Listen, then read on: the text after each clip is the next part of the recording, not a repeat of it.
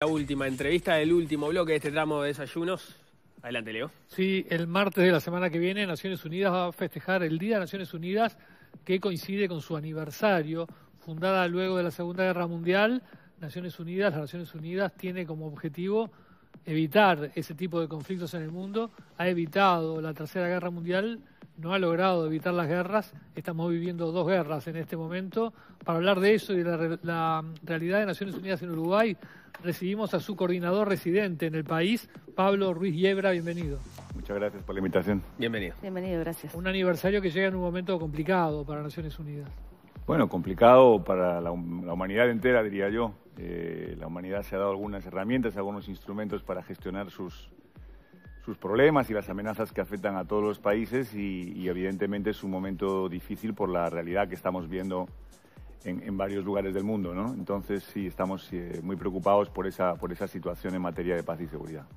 ¿Cuál es la realidad de la ONU en Uruguay hoy? ¿A qué se está abocando?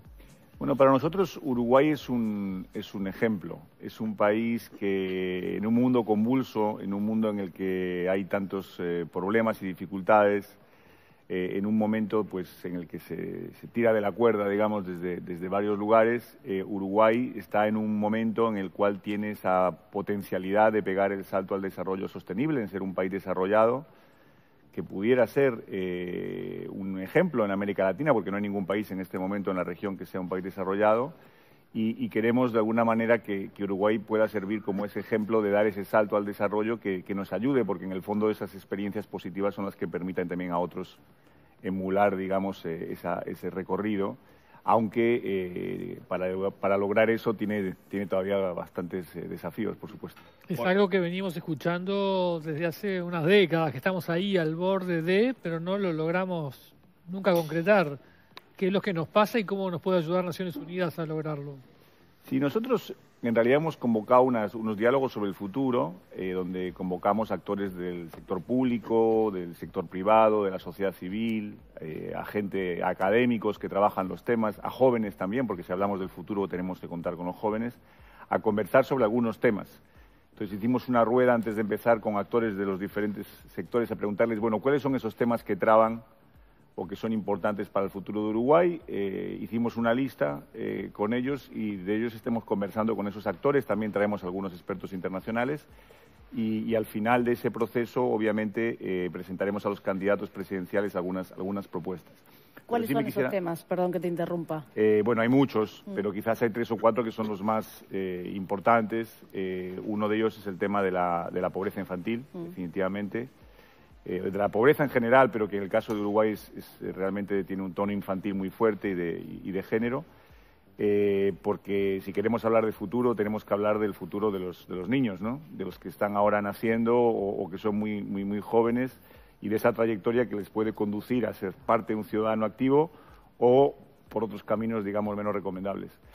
Entonces, ese es un tema fundamental para nosotros, eh, para el futuro del país. Eh, Uruguay resolvió creo en buena medida, aunque hay retos todavía, el tema de la pobreza en adultos mayores y eso hace que hoy la diferencia entre, de pobreza entre adultos mayores y, niños es, es, enorme, ¿no? es realmente atípica y bueno, queda ese reto. Ese es uno de los temas para dar ese salto. Obviamente tenemos los temas de ciencia y tecnología, como cualquier país que quiera estar en primera división tiene que estar de punta en ese tema tenemos los temas de sostenibilidad y tenemos también temas de, de, de, igualdad de género y educación que son también claves para, entre otros, ¿no? Para, para pegar ese salto. El corolario entonces de ese trabajo es hacer, hacerle propuestas a los candidatos presidenciales. Sí, pero quisiera añadir un dato importante ahí, es que alguien nos recomendó, alguien bien informado, que, que, no esperásemos solamente a que ya estén los candidatos presidenciales y hace ya varios meses que estamos trabajando con todos los partidos políticos formalmente para que los, las personas que están configurando y formulando los, programas electorales de ahora ya, estén participando en estos procesos, de manera que esa retroalimentación, digamos, no va a llegar al final, sino que ya desde ahora estamos en un intercambio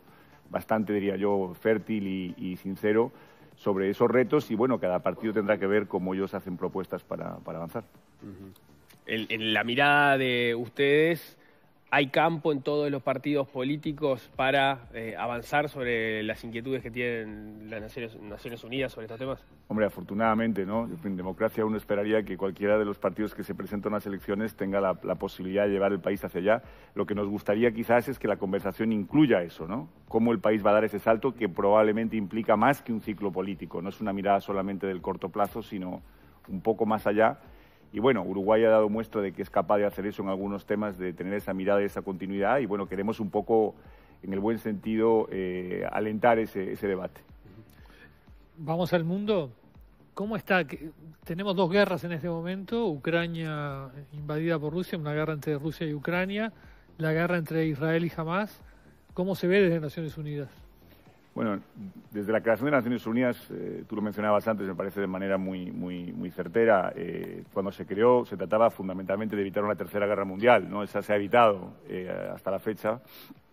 y, creo que ahora estamos en una situación que es, entre comillas, natural. Casi siempre hay varias guerras pasando en el mundo al mismo tiempo. O sea, eso no es, no es atípico. Lo que quizás es atípico ahora es... A veces hay algunas que pasan y ni nos claro, son invisibles. Yo recuerdo mi primera experiencia laboral cuando fui a, a, Mauritania, allí en un rincón del mundo. Fui a una zona de refugiados de un conflicto que yo ni siquiera sabía que existía. O sea, eso, eso pasa, digamos. Hay, hay conflictos invisibles, como decía la Cruz Roja en algún momento pero hay conflictos que, digamos, van más allá de, un conflicto interno o un conflicto fronterizo puntual y que tienen una, repercusión mundial, digamos, ¿no?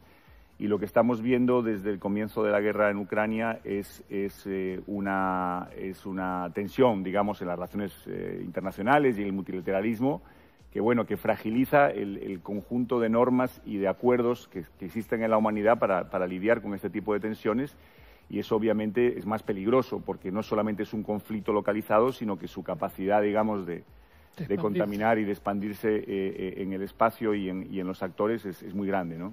¿Qué capacidad tiene la ONU de hacer algo en este sentido?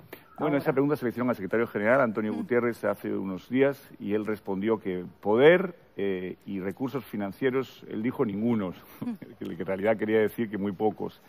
Quizás lo que tiene la ONU es una voz eh, y una capacidad de convocatoria y la capacidad de recordar a los países que hay compromisos que se han suscrito y que es muy importante respetarlos, por lo menos hasta que tengamos unos mejores, porque si eso no se hace, obviamente eh, caminamos en otra dirección y bueno, ya en la que cada uno puede hacer lo que le parezca y es una, es una ruta muy peligrosa. Entonces, la verdad que eh, el secretario general ha, enfatizado la necesidad incluso de, de cuestionarse qué es lo que no está funcionando con una cumbre del futuro el año que viene, en septiembre, y a lo largo de los próximos meses los países van a tener que entrar o no en ese debate para ver cómo mejoramos este sistema que represente también, hay que decirlo, la realidad geopolítica actual, ¿no? Porque este sistema que tenemos hoy representa la realidad geopolítica del, 45.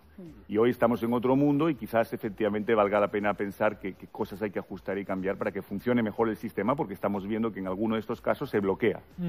Y bueno, eso efectivamente es un problema para todos nosotros, no solo para Naciones Unidas, porque Naciones Unidas, como su propio nombre indica, es Naciones Unidas. Cada una. Y todas. y si todas. Y si no están unidas, pues obviamente el sistema no funciona.